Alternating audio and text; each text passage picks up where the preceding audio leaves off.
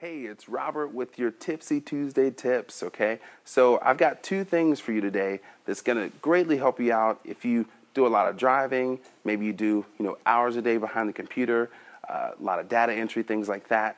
This is gonna help you to relieve tension in your pectorals, okay, which is the area that's normally gonna get tight if you're in that kind of typing position, and then also within the muscles in the hand here, okay, especially the base of the palm.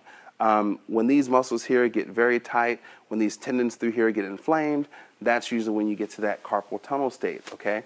So if you're currently experiencing some of that, or if you want to prevent that, these would be great things for you to incorporate. Same thing with the upper body. Um, you don't want to start getting orthotic.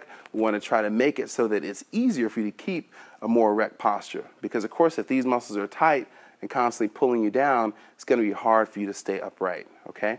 Um, so for the pectorals, so you've got the tennis ball, you're going to do this up against the wall, okay? Um, you've got it right into the meaty part here of the pectorals. Arm is going to be at about a 90 degree angle, and then from there, you're moving your body around, okay, leaning your body weight into the wall in order to create tension through there. You want to do this for about 30 to 45 seconds.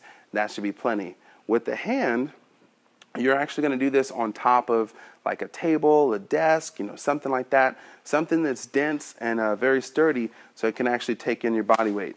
But essentially, we're going right into the fleshy part of the hand there. We're keeping the hand as relaxed as we can. There, pushing into it, looking for those tighter areas, okay, areas.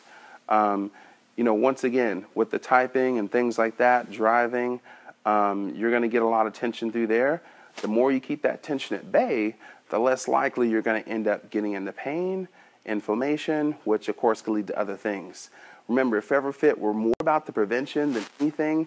But of course, if you're in pain, you definitely want to reverse it as soon as possible.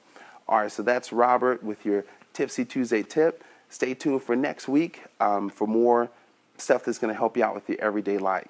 Okay, make sure you like the video if you like it and uh, leave a comment below.